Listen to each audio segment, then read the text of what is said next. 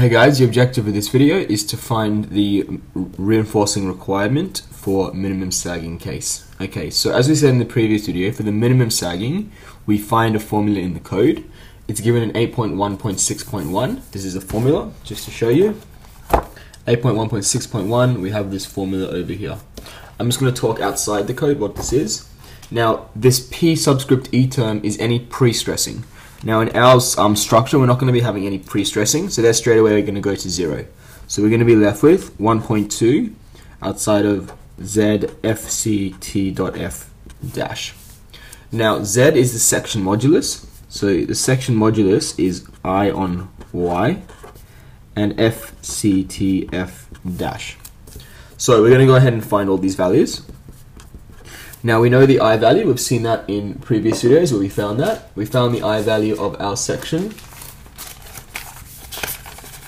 to be 1.56 times 10 to the 10. So that was the I value. So 1.56 times 10 to the 10. And y, so what's y? y is the distance from the centroid to where we're interested in. So if I draw a little picture, if this is our section,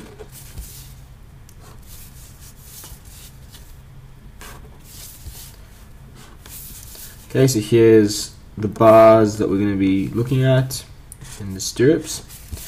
So when we're looking at sagging, let's put in our centroid first of all. So our centroid also we found in the previous videos to be 250.4. So the centroid is at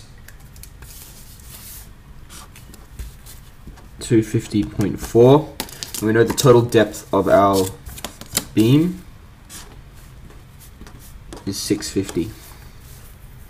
So this y is the distance from the centroid to the point we're interested in. Now because we're looking at the sagging case, so when it sags, we're looking at the bottom. Okay, we're always looking at the tension, where the tension is.